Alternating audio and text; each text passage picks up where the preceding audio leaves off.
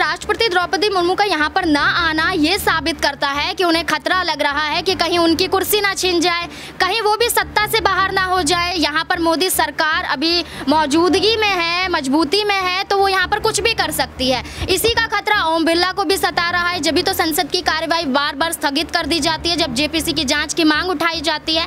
तो यहाँ पर एक एक एक करके खुलता हुआ नज़र आ रहा है। सारे पेज खुल रहे हैं कि यहाँ पर मोदी सरकार की वजह से ये सब चीज़ें बोलते हुए नज़र नहीं आ रहे, जिसमें शामिल हो जाते हैं राष्ट्रपति द्रौपदी मुर्मू। यहाँ पर अगर वो समर्थन कर देती हैं राहुल गांधी का तो सब कुछ क्लियर हो जाएगा। राहुल गांधी का रास्ता भी साफ़ हो जाएगा और मोदी सरकार का सबसे बड़ा झूठ भी पकड़ा जाएगा।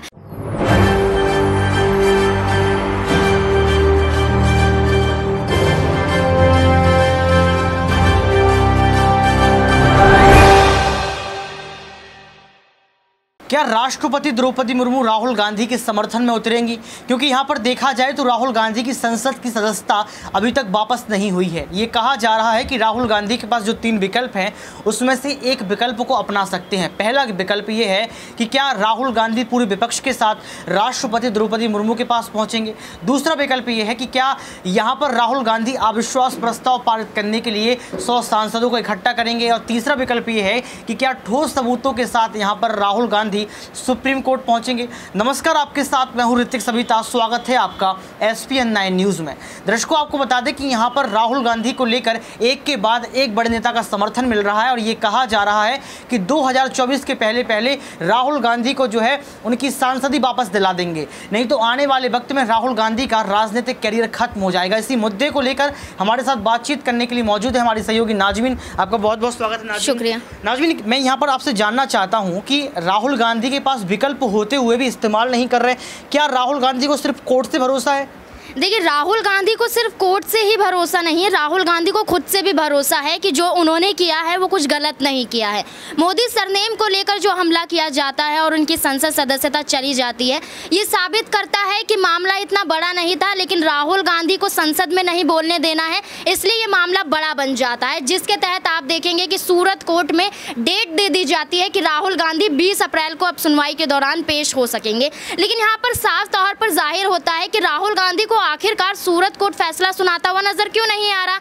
अगर दूध का दूध पानी का पानी हो जाता है। यानी कि अगर राहुल गांधी को सूरत को दोषी करार देता है तो वहाँ पर सजा सुनाई जाएगी। तो ऐसे में राहुल गांधी के पास विकल्प चुनने का ऑप्शन बच जाएगा कि अब राहुल गांधी सुप्रीम कोर्ट का रुख कर सकते हैं, राहुल गांधी, राष्ट्रपति द्रौपदी मुर्मू का रुख रुख कर सकते हैं, और यहाँ पर ओम बिरला के खिलाफ भी अविश्वास प्रस्ताव पारित कर सकते हैं। तमाम विकल्प राहुल गांधी के पास मौजूद है, लेकिन राहुल गांधी को अभी इंतज़ार है सिर्फ़ एक फैसले का कि सूरत कोर्ट में क्या फैसला सुनाया जाएगा। लेकिन अगर सूरत कोर्ट कोर्ट की आपने बात की, अगर सूरत कोर्ट से यहाँ पर जो है राहुल गांधी को राहत नहीं मिलती है तो क्या राहुल गांधी को सांसद नहीं मिल पाएगी? ये पहला सवाल रहेगा। दूसरा सवाल ये रहेगा कि सुशील मोदी ने अभी पटना कोर्ट में भी उनके खिलाफ जो है याचिका दायर कर दी है। अगर सूरत कोर्ट से जो है राहत मिल जाती है तो क्या पटना कोर्ट में फंस जाएँगे?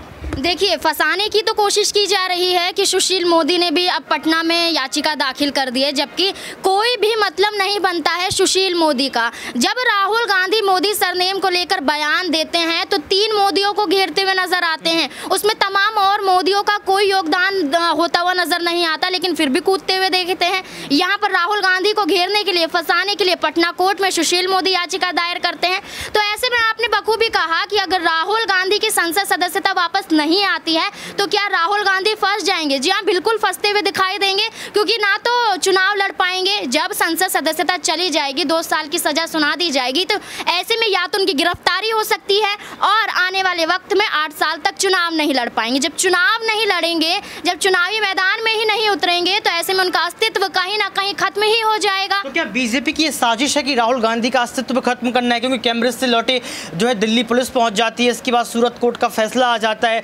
घर छीन लिया जाता है। इसके बाद देखा जाए तो यहाँ पर संसद की सदस्यता खत्म कर दी जाती है अयोग्य घोषित कर दिया जाता है। यानी कि यहाँ पर एक के बाद एक चीज़ राहुल गांधी के साथ हो जाती है। तो क्या ये बीजेपी की साजिश है या फिर राहुल गांधी अपनी गलतियों का जो है खामियाजा यहाँ भुगत रहे हैं? देखिए, राहुल गांधी ने गलती की होती तो खामियाजा भुगतते। यहाँ पर बात की जाए भारतीय जनता पार्टी की तो ऐसे मंत्री सांसद मौजूद है जो ऐसे बयान देते हैं, उनकी तो बहुत पहले ही संसद सदस्यता रद्द हो जानी चाहिए थी, लेकिन रद्द होती हुई नज़र नज़र नहीं आती है क्योंकि वो सत्ता पक्ष में है। अगर आप सत्ता की मजबूती में हैं तो आपके खिलाफ कोई भी आरोप तय नहीं हो सकते हैं। तो ऐसे में राहुल गांधी ने सच बोला था, लेकिन वो सच के तहत भारतीय जनता पार्टी को मिर्ची लग जाती है, जिसके तहत आप देखेंगे कि राहुल गांधी को यहाँ पर अयोग्य घोषित कर दिया जाता है। अगर राहुल गांधी की संसद सदस्यता वापस आती है, सूरत कोर्ट उनके हक में फैसला सुनाता है तो यहाँ पर कड़ी चुनौती देते हुए वो भारतीय जनता पार्टी को नज़र आएँगे। साफ़ तौर पर ज़ाहिर हो जाएगा कि राहुल गांधी ने कुछ भी गलत नहीं किया है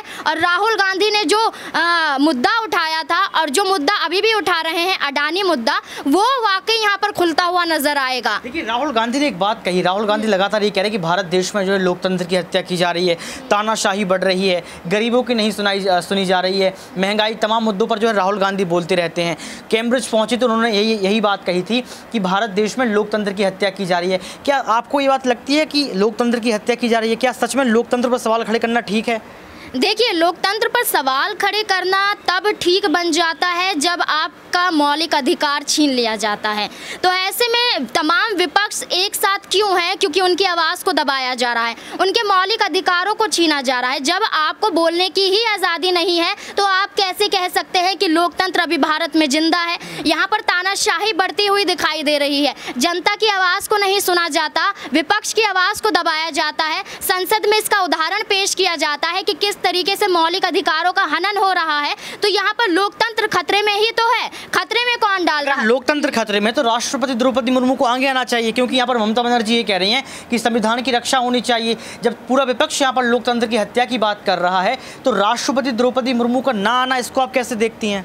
देखिए राष्ट्रपति द्रौपदी मुर्मू का यहाँ पर ना आना ये साबित करता है कि उन्हें खतरा लग रहा है कि कहीं उनकी कुर्सी ना छीन जाए कहीं वो भी सत्ता से बाहर ना हो जाए। यहाँ पर मोदी सरकार अभी मौजूदगी में है मजबूती में है तो वो यहाँ पर कुछ भी कर सकती है। इसी का खतरा ओम बिरला को भी सता रहा है। जब भी तो संसद की कार्यवाही बार बार स्थगित कर दी जाती है जब जेपीसी की जाँच की मांग उठाई जाती है तो यहाँ पर एक कर, एक एक करके खुलता हुआ नज़र आ रहा है। सारे पेज खुल रहे हैं कि यहाँ पर मोदी सरकार की वजह से ये सब चीज़ें बोलते हुए नज़र नहीं आ रहे, जिसमें शामिल हो जाते हैं राष्ट्रपति द्रौपदी मुर्मू। यहाँ पर अगर वो समर्थन कर देती हैं राहुल गांधी का तो सब कुछ क्लियर हो जाएगा। राहुल गांधी का रास्ता भी साफ़ हो जाएगा और मोदी सरकार का सबसे बड़ा झूठ भी पकड़ा जाएगा। लेकिन झूठ यहाँ पर एक तरीके से दिखाया जा रहा है कि आने वाले चुनाव को देखते हुए अभी माहौल को शांत किया जाए। अभी जो अडानी मुद्दा उठाया जा रहा है, उसे दबाया जाए ताकि भारतीय जनता पार्टी चुनाव जीत जाए। यानी कि आपका कहना है कि अडानी के मुद्दे को छुपाने का प्रयास किया जा रहा है। जबकि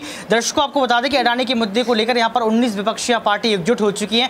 सड़क से लेकर संसद तक मोर्चा निकाल रही है और ये कह रही हैं कि जेपीसी की जाँच करवा कर रहेंगे। लेकिन मेरा सवाल नाजमीन से यहाँ पर यह रहेगा कि अविश्वास प्रस्ताव को लेकर सौ सांसदों की ज़रूरत है। विपक्ष एकजुट हो रहा है। तो राहुल गांधी यहाँ पर अविश्वास प्रस्ताव पारित क्यों नहीं करते? जबकि कई बार ओम बिरला पर आपने सवाल खड़े किए हैं, जयराम रमेश ने सवाल खड़े किए हैं, रंधावा ने सवाल खड़े किए हैं।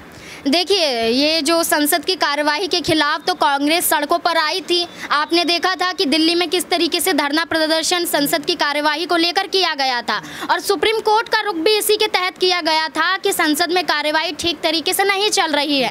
यहाँ पर पक्षपात हो रहा है। यहाँ पर विपक्ष के खिलाफ मोदी सरकार, ओम बिरला और लोकसभा से लेकर राज्यसभा में ये सारी चर्चाएँ देखी जा रही हैं कि जब विपक्ष कुछ बोलना चाहता है, राहुल गांधी के समर्थन में देखा जाता है तो उनकी आवाज़ को दबा दिया जाता है। तो यहाँ पर साबित होता है कि अविश्वास प्रस्ताव पारित होना चाहिए यहाँ पर ओम बिरला के खिलाफ। अविश्वास प्रस्ताव की बात यहाँ पर नाजमीन ने कही। अब देखना ये होगा कि अविश्वास प्रस्ताव राहुल गांधी यहाँ पर पारित करते हैं या फिर राष्ट्रपति द्रौपदी मुर्मू का द्वार खटखटाते हैं या फिर सुप्रीम कोर्ट पहुँचते हैं। दर्शकों, आप बताइए कि राहुल गांधी की संसद की सदस्यता आखिर वापस आएगी कैसी? कॉमेंट बॉक्स में बताएँ। आज के लिए सिर्फ़ इतना ही। देखते रहिए एस पी न्यूज़।